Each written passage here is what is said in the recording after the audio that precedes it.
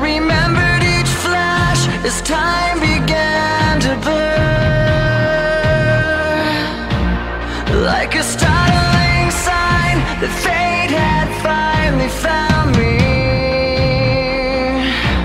And your voice